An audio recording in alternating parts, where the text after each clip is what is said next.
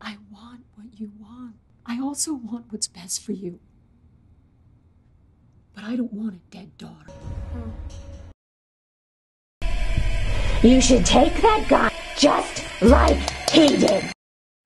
Hi, honey. I'm home. You're not the same lately. Would you like to talk about it? And rest. Well, no. How important this product is to me, so I'm going to be directing it. Really? I want to see this person consume it. I want to see them devour it. No, I. I think you look interesting. How do you like being married? Oh, um. I like it very much. You could have called me, though. Talk to me about it. It's not like I'm a different person or something. First time we did it was out there. Better cut the weeds back 30 feet from the house just in case a grass fire comes through here, or worse, a fire inspector.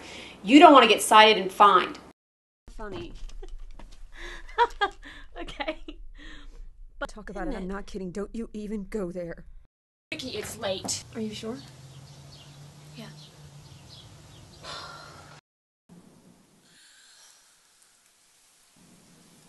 Why did you leave me again? You know why. Done with it. Skyla. Why?